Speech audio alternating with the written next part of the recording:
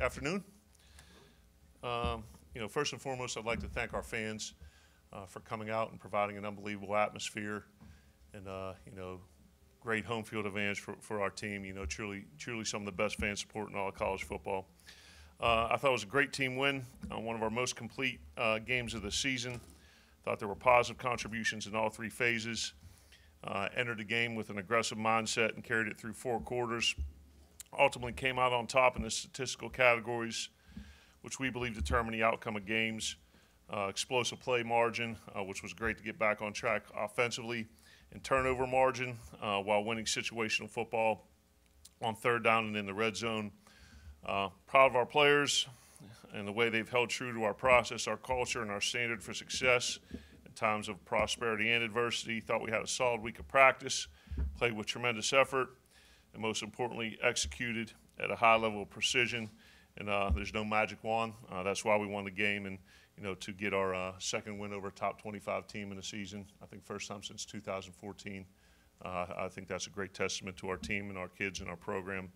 So certainly uh, very happy coming out of that. Um, our players of the week uh, on offense, Nick Fitzgerald.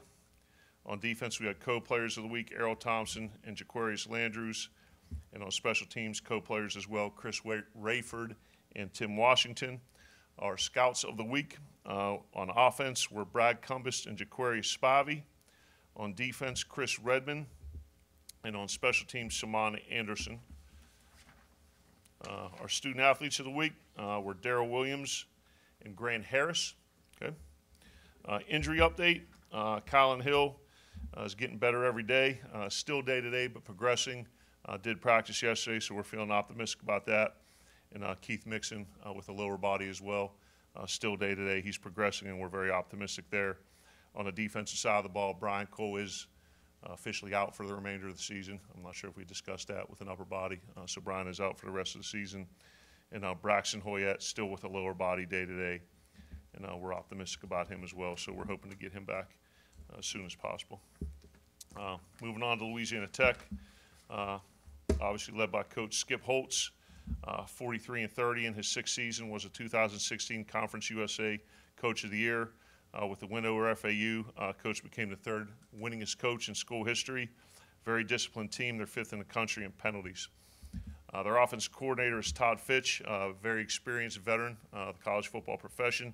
He coaches wide receivers. Uh, they're a spread RPO quick game attack, averaging 28 points a game, uh, 142 on the ground, and 248 in the air. Uh, led by quarterback J'Mar Smith, a product of Meridian. he's thrown for just about 2,000 yards this year and 12 touchdowns operates the system very well. Uh, more of a thrower than a runner, but can pull the ball down and be a threat there when necessary. Uh, Jaqwis Dancy's their leading rusher, good speed, very elusive. And I think they've got an excellent, excellent receiving corps, and that shows up in the LSU game. Uh, those guys made a bunch of plays. Uh, Adrian Hardy is a legitimate deep threat, and then Teddy Veal is their leading receiver. Uh, moving over to the other side of the ball, uh, the coordinator is Blake Baker. You know, they play a mix of three and four down fronts, one and two high zones, and some man. Uh, they're 18th in the country in sacks per game uh, and 29th in pass defense. Uh, they are led by defensive lineman Jaylon Ferguson, who is, uh, you know, regardless of level, power five or group of five, one of the best, best and most productive pass rushers uh, we'll face this season. Uh, he currently sits at 37 tackles, an amazing 14 and a half for loss, and 10 and a half sacks uh, currently leads the nation in sacks, and Bill, if I'm not mistaken, is the act, current active leader in the FBS in, uh, in career sacks. So he's certainly a force to be reckoned with. Uh, linebacker Collin Scott, 56 tackles, six and a half for loss, and a sack and a half leads the team in tackles. And linebacker Amik Robertson has uh, 34 tackles, a pick, and eight PBUs. Very quick and very athletic. Uh, Eric Link is our special teams coordinator. Uh, the key stat there, they have blocked three field goals this year, including one to win the game versus North Texas. Uh, and Teddy Veal is the returner. He's averaging 14 yards uh, per punt return. And their kickoff return, uh, Michael Sam is averaging almost 22 yards uh, in kickoffs, in kickoff returns. Um, you know, for us, uh, you know, certainly it's going to be homecoming. you know, two home games left. I think it would be tremendous you know, for our fans to continue to do the things that they've done this season. Uh, and, um, you know, support this team and provide a great home field advantage, in particular everything this senior class has done uh, for this school and this university to, to, on homecoming to come out and support those guys. I certainly have the utmost respect for Coach Holtz and his staff and their program. Uh, bowl eligible at six and two, uh, playing with a ton of confidence. We're very competitive against LSU and discuss with our team our need to compete against a standard, not an opponent, and the consistent habits will yield consistent results. Uh, we need to have a great week of practice, play with tremendous effort, uh, and execute our scheme with precision, uh, one rep at a time for four quarters. And uh, if that occurs, the score will the score will take care of itself. So very excited about this opportunity. You know, fired up about where we are, uh, coming off a, a, huge win at home, and providing some great momentum into the to the tail end of the season here. I love the Penguin representation as well as the Pirate representation. And with that, I'll take any questions. Coach, last year Erroll Thompson showed a lot of flashes and, and played in a backup role behind Des Harris. When you got here, how quickly did you see him make that transition and, and being the player he has been so far this year? You know, I, I think he was, you know, kind of quiet during, um, you know, winter conditioning when we're allowed to be around the guys and, you know, you're doing drills and in the weight room. Coach Paroli talked about him, but I think his kind of understated leadership really didn't show up until spring ball and fall camp. Once you get on the field, so he's kind of a guy that you know does it more by example than, than vocally. But you know, once we put the pads on and he started communicating, started flying around and hitting, I think you, you knew at that point that he was going to have a chance to be something special. Hey Joe, with, with Brian Cole out, obviously Landrews has has really kind of stepped into to that role and played really well. And I know Marcus Murphy's coming there and Yeah. giving you some good reps. How do you feel about that position, and kind of, uh, I guess, how those guys have stepped into that role with Cole out? No, I think it's it's been very great for uh, for Landrews and, and you know kind of across the board in this game with Kylin out and Braxton out and other guys stepping up and you know um, kind of not missing a beat. But uh, you know JQ he's playing he's playing fantastic football right now and I think he's been you know very productive. I think he's been very steady. You know made a lot of impact plays and you know kind of early on the season you know people were talking about Marcus because of you know the fanfare coming out of a local school and how talented he is and uh, you know see him kind of as we you know, kind of talked about easing his way into it and making plays on special teams, which he did at first, and now being in our, our cheetah package and, and doing some things and getting some reps. I think uh, it was a uh, valuable experience for Marcus this, the past two games, and, and I think it was a good decision to get him on the field and not redshirt him. I know that, uh, there's more to the position than just catching passes, but how do the tight ends kind of get involved? What do they have to do to get more involved in the passing game? Yeah, we, we, we had some routes dialed up for them for this game, and uh, you know they were a target on a couple, of the, the, you know, naked passes out in the flat, and uh, you know we had one uh, in the second half that, that, was getting thrown to the tight end, and, and the coverage dictated. I think they took a sack or threw it away there. So um, you know a lot of that is coverage based and scheme based. You know we uh, have plays on the board uh, when we game plan to make sure that there are opportunities for all the skill positions, and they're there. A lot of it is coverage based, uh, you know, where the ball goes. So uh, we make sure that the Z, the H, the X, you know, the tight ends and the backs are going to have opportunities, and we're dispersing the ball to our playmakers. You know, a lot of it's dictated by the coverage.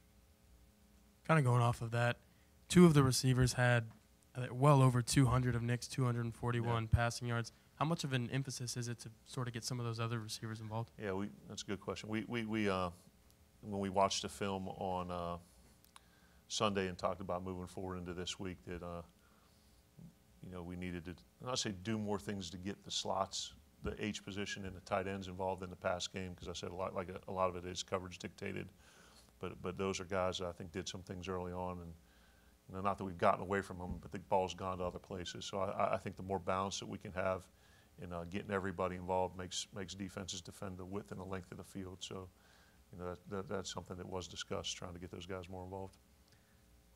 Joe, what's, what's kind of your thoughts on the, I guess, the status of the punting game right now, and, and what can be done uh, there, I, I guess, to to improve upon it? I'm in favor of it. That's, us punting.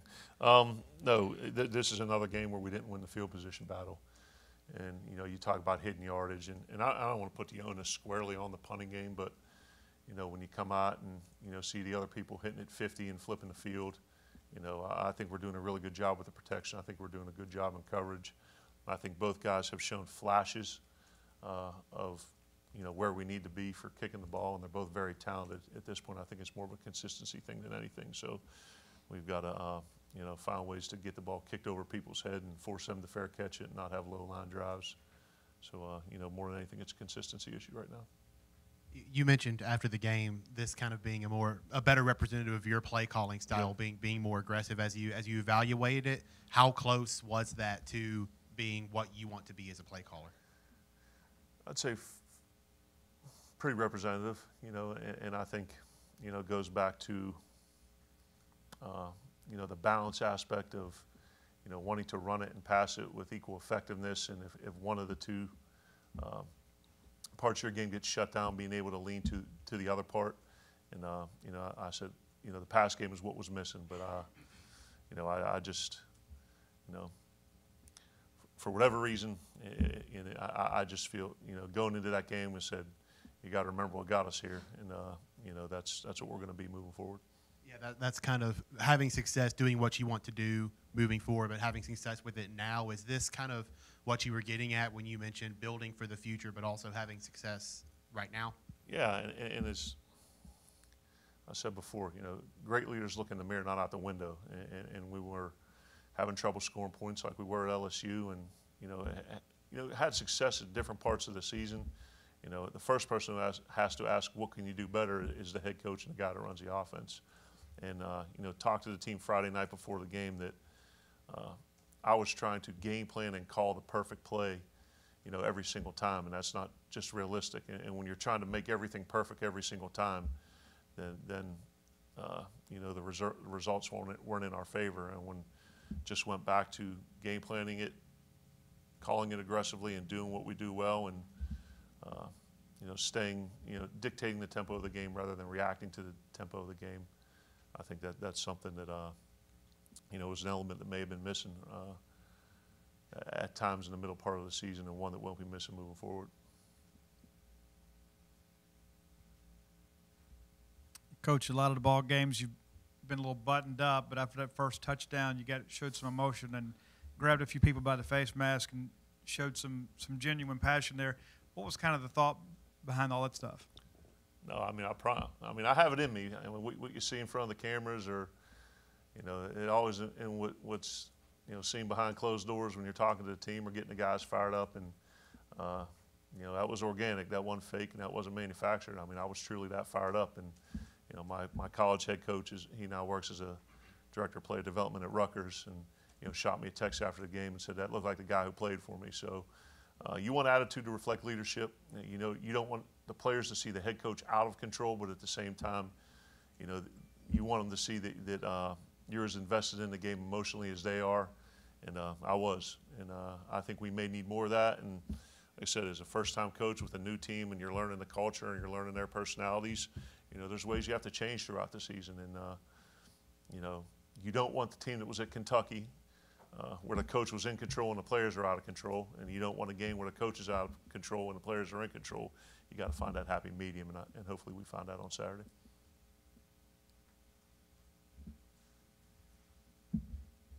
Tyler.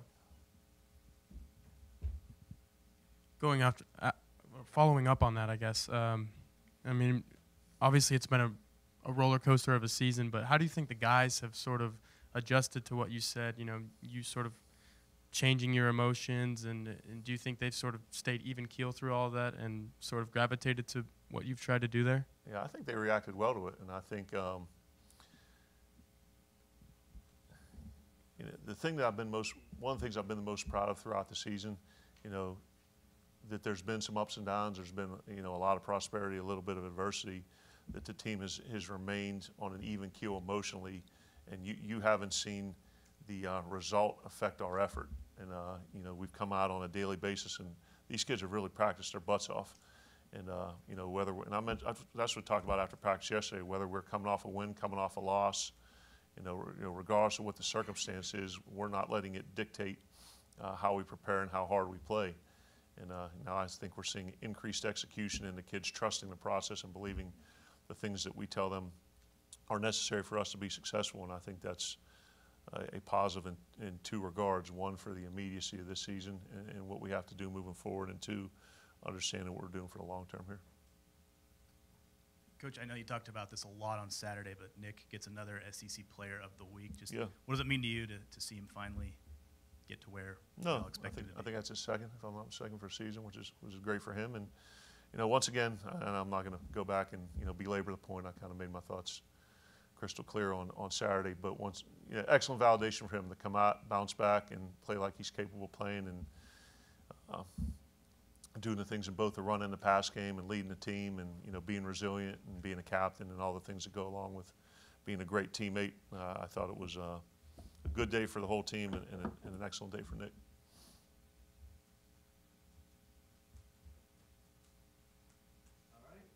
We'll see you at one thirty at the, uh, Sonny Montgomery. Appreciate your time, guys. Hill State.